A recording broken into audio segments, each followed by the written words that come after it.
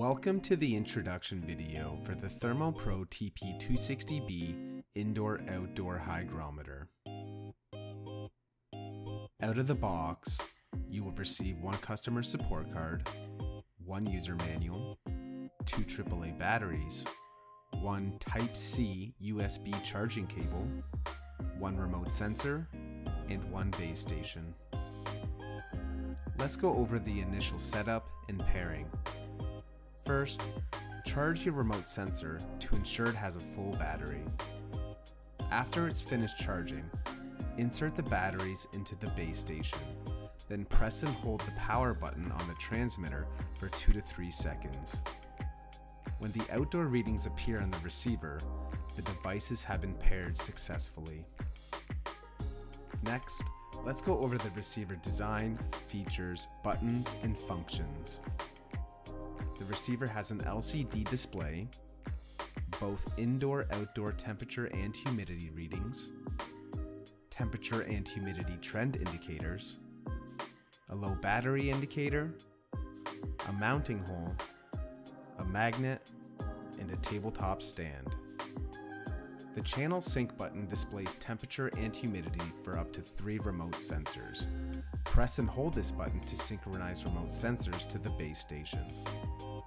Max Min Clear button displays maximum and minimum temperature and humidity. You can press and hold to clear the history data. The Fahrenheit Celsius switches between Fahrenheit and Celsius. The light button activates a backlight for usage in low light conditions. Now let's go over the transmitter design features and buttons. The transmitter has an IPX5 rainproof design Type-C charging port for its rechargeable lithium battery, a mounting hole, a power button, a reset button, and a channel selector for the remote sensors. To access the maximum minimum recorded temperature and humidity, press the Max Min button to display the maximum temperature and humidity. Press it once more to display the minimum temperature and humidity. To clear the max and min data, press and hold the clear button for 3 seconds.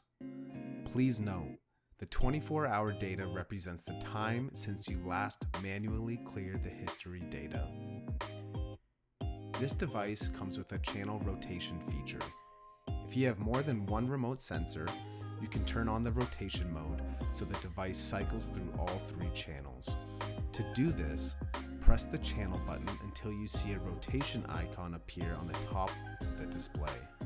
Your device will begin to rotate between all three channels.